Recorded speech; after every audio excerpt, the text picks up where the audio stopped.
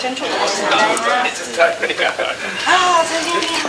是，它是六月三十，不是为贴纸的那个。就是为那个风水赈灾哈，哎，大家都在募款，所以都都集合的这样。这是那个，有的是那个，应该是印尼的方面吧？哦，这个不是。贴这边，贴这边，就是一直放，就是那个结尾茶是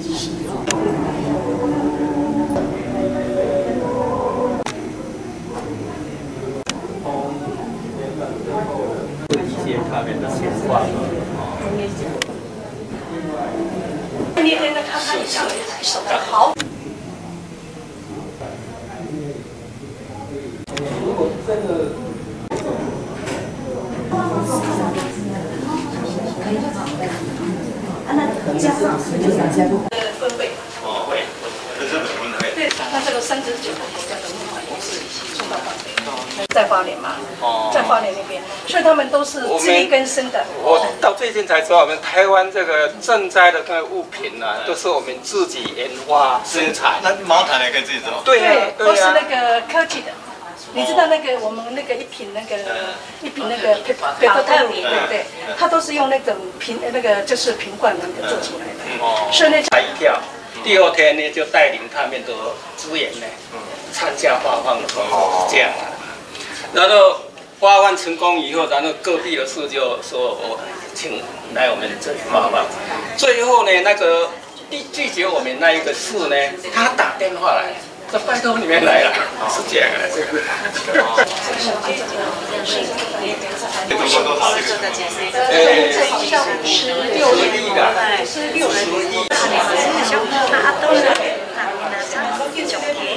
们三人就是说爱一个爱的循环的一个动力，哦，就是不管那个。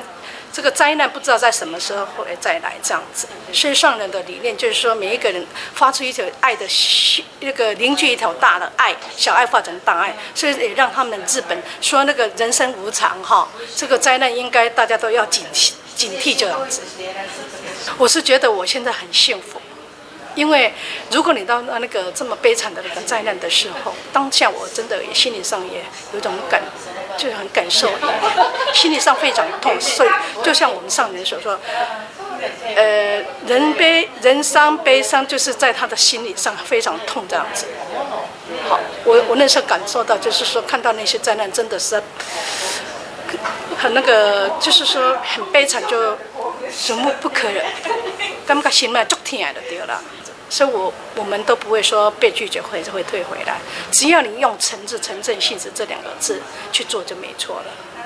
啊，所以我最大这次的印象是，就是说看了灾区的情况以后呢，一个非常美丽的日本岛，结果呢，呃，绿油油的那个田野，如果靠近海岸的地方，就这个大自然一灾害一来，瞬间就变成。一个啊废墟啊，所以说，呃，最我感触最深的说，呃，就是说这个，哦，我们呢，人类实在这个，因为啊贪欲，所以这个出弱呃弱劣，所以这个，呃，把大自然都破坏了啊，因为啊饲养这个牛啦，还有饲养这个动物呢，结果要砍伐这个森林，所以地球温暖温暖化嘛。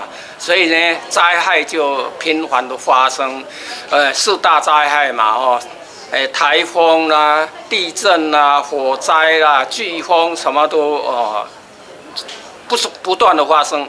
这个灾害呢，完全是人类的这种啊贪欲啊啊带来的。哎，所以说，诶，这一次日本的这个呃东日本大灾变呢。